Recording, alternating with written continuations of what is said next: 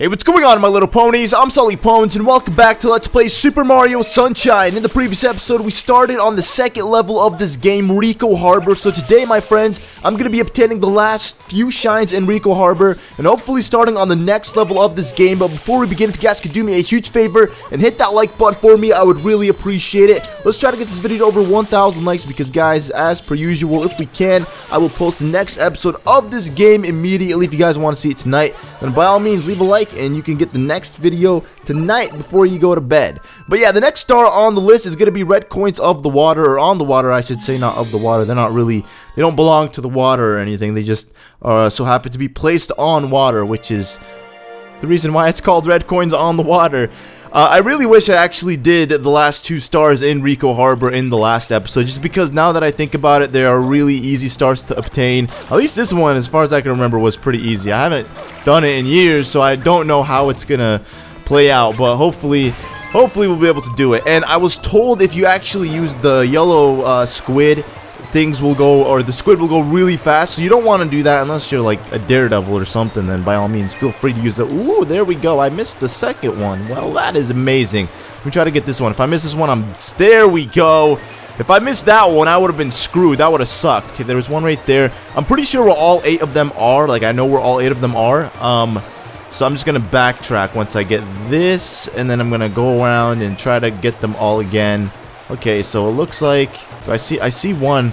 Okay, there's one underneath that little pathway, and then there's gonna be one in between two little boats over there. There's a blue coin right there. There's actually a couple blue coins in this area. Actually, a majority of them are located around this area right here, but we're not gonna get those just yet. So I want to do a quick loop-de-loop -loop around here just to get the perfect, uh, perfect turn, I guess you could say. There we go. That's the sixth one, and the seventh one's right here. And then the eighth one, I'm pretty sure I skipped over, which is technically the fourth one on the list in terms of collecting them when you collect them in order.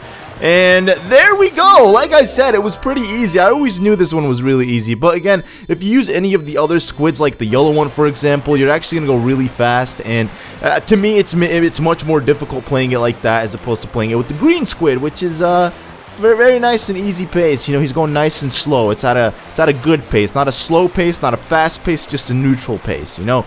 So now to get the shine, this is always the toughest part about doing this mission is to get the shine because usually when you try to jump at this point, you, he slows down massively. What the heck? That is not how I remember the squid jumping. All right, let's try that again. All right, here we go. Here we go. Here we go. Wait, what? I switched squids? I'm now with the yellow one. Look how fast this dork is going. Oh my god, this is so fast. And what happened to the green one? He must have died or something. I really don't know. Because there is a squid missing. But that is it, my friends. The 15, 15th. The 15th. What the heck did I just say? The 15th shine in this game. Uh, like I said, you know, this is a very easy shine to obtain. And the next one, if you thought this one was easy, oh my god, wait till you see the next shine. This is going to be a joke. I mean, some of you guys are really going to hate me for not doing this one in the last episode. Um, the the reason why I say I should have done it in the last episode is because um, now that we're technically done with Ricco Harbor, I would have rather uh, waited to do the next level in its own episode, but since there are only two shines that I can obtain in this level, I'm gonna have to just break my rule and do the next episode or the next world, I guess. Um, so that's what we're gonna have to do. But this is a very, very easy shine to obtain. We pretty much have to uh, chase Shadow Mario. Shadow Mario Revisited. Ooh.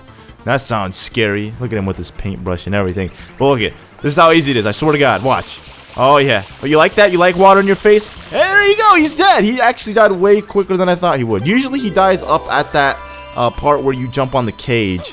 That's normally where he dies at. But for some reason, he decided to die right now. He just gave up. He was like, you know what? There's no point in running in this fight because I'm to lose anyways. So let me just give myself up and, and move on and he did he did the smart choice because I would have seriously hurt him badly. Not that I normally hurt people, but Shadow Mario knew what was up. He knew that he was bested in this situation. But yeah, we actually completed the rest of Ricco Harbor. Like I said, the 8th shine is a shine that we can't obtain just yet, so we're going to save that for later. We're going to revisit. So instead of Shadow Mario Revisited, it's going to be Mario Sunshine Revisited. That's not his last name, is it? His name is like, uh, Mario Di Luigi. No, that's not, that's not it either. I really don't even know if Mario has a last name or not. He probably does, because, you know, he is Mario. Every person on this planet has a last name they're not just named one name because then that would be very confusing and it would be very hard to identify people. But moving on to level 3, this is actually a very, very fun place. It's uh, known as Gelato Beach. That is right, Gelato Beach. Gelato is, I believe, French for ice cream, I think. Unless gelato is something like ice cream. It's like the more, it's like the richer, uh, more genuine, like the the fancy kind of ice cream where it's actually made. I, I really don't know because sometimes I'll go to stores and like, you want some gelato? It's like, isn't that ice cream? No, gelato is different. Have a try, and then I taste it. It just tastes like thicker ice cream. I don't really know. But it's Gelato Beach, and, you know, we have to kill this piranha plant. It's like, you know, we've never done this before. He's once again coming out of this mucky ground with, uh, Lots and lots of mud on him. And there is. Did we kill him? Nope, he still has phase two. There's a toad, man. I feel bad for that toad. Wait, is that it? If you hold down R until it clicks. Okay, actually, that's not what I'm looking for. I'm trying to save my boy Toad here. He's dying. Unless he's already dead, which would which would suck, because I don't think there's a hospital nearby to save this little fella. Probably not. Okay, come on. Come on, dude. Suck my water. Suck my water. There we go. Yeah, now I can... What? How did he hit me? How did he get that hit in? I don't even know. But once again, we have a nice, clean level popping out of the ground just like that. It's, uh, it's called a lighthouse. Let me clean this toad. Oh, he's nice and clean, but he still has mud in, inside his ears and whatnot. But yeah, let's... Oh, yeah, I forgot. I have to spray this level down. Oopsie daisy, I completely forgot about that. That's something that I'm gonna probably forget a lot in this game. I'm going to shoot down the levels before entering inside of them. But yeah, welcome ladies and gentlemen to Gelato Beach Dune Bud Sandcastle Secret. The first shine in this episode, or in this uh, level, is very easy to obtain. It's the only shine that I'm going to obtain in this episode because, like I said, you know, I really want to be able to do uh, each level in its own episode, like on YouTube, not like episode as in shines, but each level in its own episode.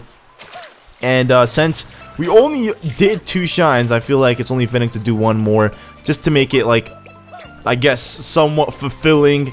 And then in the next episode, we will complete the rest of Gelato Beach, or we, I should say, technically start on Gelato Beach. But as you can see, we have those uh, cataquacks. I don't. I have no idea if that's what they're called. They're something like that. They were in Super Mario Sunshine, and my God, they were tedious, and they're just as tedious in this game. They will chase you down, and they will try to just smack you in the air. They will get annoying, because as soon as they target on you and they start hitting you in the air, they will continuously do it over and over and over again until you want to cry. So just stay out of their ways, and uh, you'll be good. You'll be golden. You'll be clear. But yeah, a little uh, sandcastle appeared out of nowhere. It's a very nice built sandcastle. I could never build something like that and keep the sand like you know in in position like that without it falling and crumbling down on me. But Shadow Mario stole FLUDD from us again, so what will we do without him? Oh, well, that's a very good question you asked. We're gonna beat this level without him. This is actually more so one of the easiest, uh, like one of the, what do they call? I don't even know what these levels are called in this game. What are they called, guys? If you know what they're called, let me know. But th these levels, you know, this one compared to all the other ones that we've done so far is actually really easy. Like, super easy. It's like you're just running on sand and the sand is somewhat collapsing. I don't know why, but these all of these levels remind me of Super Mario Galaxy. Like, they really do. It's probably because we're in a galaxy. Oh god, okay, I think I- Oh, Jesus, I screwed up. Oh, Jesus, I can come back from this. I can come back from this. I can come back from this. Okay, so the yellow blocks are safe points, but you don't want to stand on them for too long. You just want to keep going with your momentum. And jam, we got this. I don't know why I yelled out jam like that, but we got the shine. Not even bad. I didn't even die once. You know, this was a very good episode. I just sped through all of the shines. Super easy and quick. Now, if only I know how to play the entire game like this, that would be really fun, but I don't. And most of these shines are probably going to give me trouble. Whoa, what is this? Made the, the game lag a little bit, but it looks like a Bowser Cruiser. Well, we're going to find out sooner or later. But for now, like I said, guys, we are going to end off the episode. Uh, next time, we are actually going to be completing the rest of Gelato Beach. And I think there's going to be six or seven Shine Sprites at the most that we're going to actually have to collect. Uh, it's not going to be five or anything. I'm going to try to collect pretty much all the Shine Sprites in Gelato Beach. So, in the following episode, episode number seven, uh, well, wait, that would be episode number seven? It would be episode number seven. We'll actually be able to do the next episode after that, or the next level, I should say.